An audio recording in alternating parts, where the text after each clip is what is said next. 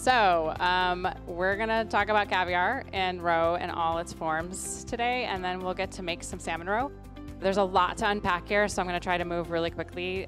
Not all fish eggs are caviar. For example, salmon roe, not caviar.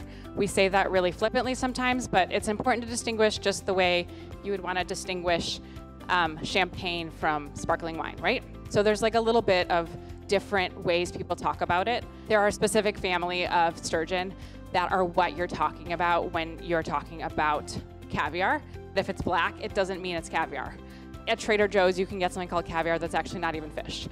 So, this is essentially the same as the way it looks inside the sturgeon. There's two of them together, except this is from salmon in the Northwest.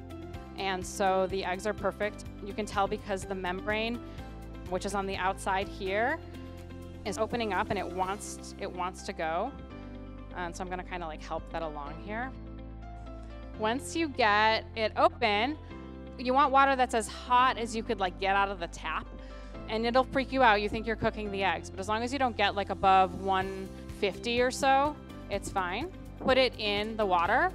You just let it sit in there to get it warm. It like the the membranes will tighten from that process and contract, uh, kind of releasing the eggs a little bit more. You can go directly onto here. So you want to go membrane side up. So the eggs are down on the grate and you're just like giving it a really great massage. Just letting the eggs fall. And you can be pretty rough with it.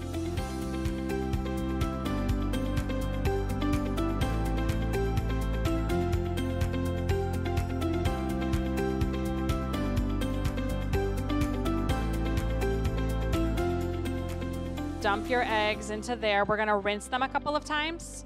You'll notice when you put it in, there's a lot of stuff. Like the water gets really hazy.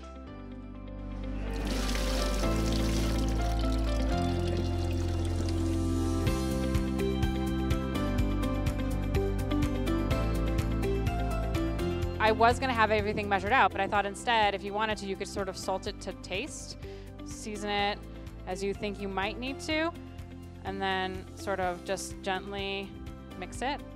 So we'll put them aside while we taste some Styria caviar in the sort of soft spot between your thumb and pointer finger.